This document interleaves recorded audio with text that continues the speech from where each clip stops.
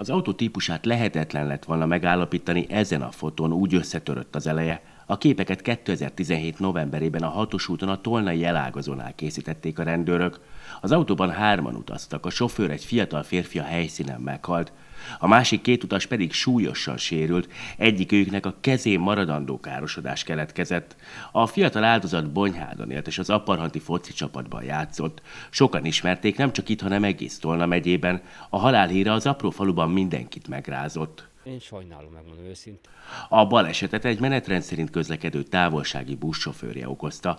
Nem állt meg a stop táblánál, mielőtt kihajtott a főútra, ezért a személyautó szinte fékezés nélkül hajtott bele a hatalmas jármű oldalába.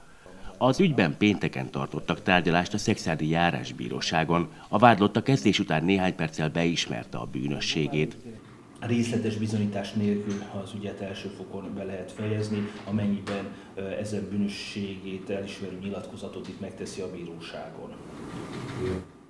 Az ügyész végül csak felfüggesztett börtönt kért a buszsofőrre, a bíró végül ezt is adott neki. A bűnös közúti baleset gondatlan okozásának vétségében a BTK 235 szakasz egybekezdését ütköző a második bekezdés B pont szerint minősülően.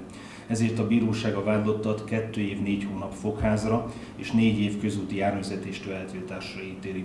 A bíróság a kiszabott szabadságot és büntetés végrehajtását 4 évi próbaidőre felfüggeszti.